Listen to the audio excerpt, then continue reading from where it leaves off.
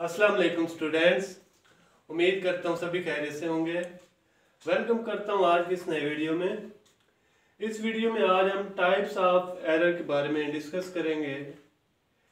ये कंप्यूटर के एक टॉपिक है। मोस्टली आपसे पूछा जा सकता है कि कंप्यूटर में कौन कौन सी एरर आ सकती हैं और आप उनको कैसे रिजॉल्व कर सकते हैं।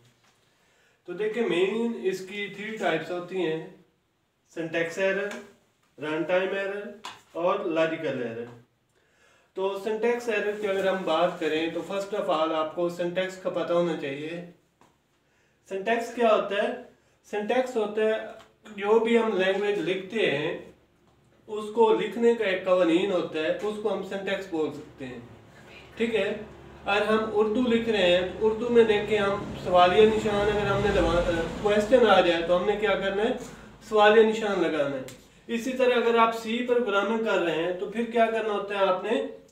आपने ये वाला सेमी कॉलन मिस नहीं करना होता है एंड पे, ठीक है? ये होता है सिंटेक्स और हम इसकी डेफिनेशन की बात करें तो क्या आएगा?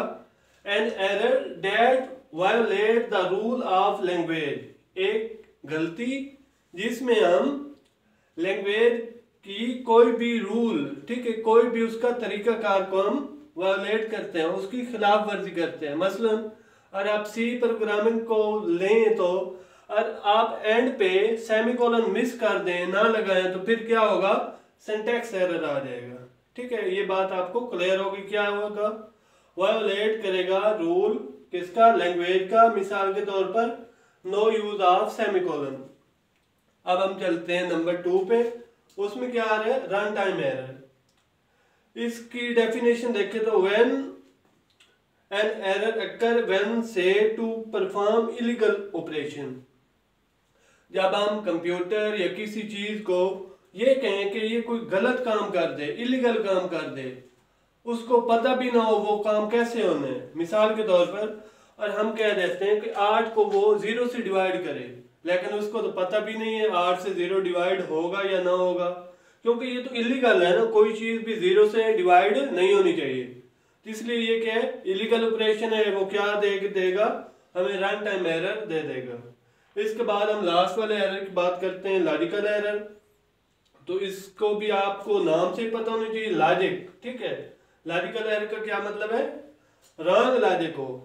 रंग लॉजिक मिसाल के तौर पर रन बट ये प्रोग्राम जो होगा लॉजिकल एरर वाला ये रन हो जाएगा, लेकिन उसका रिज़ल्ट रंग होगा। मिसाल के तौर पर और हम कहते हैं पाँच बड़ा है, हम यूज़ करेंगे बड़ा इंस्टीड ऑफ़ लेस देन क्या कहेंगे? भाई पाँच बड़ा है चार से।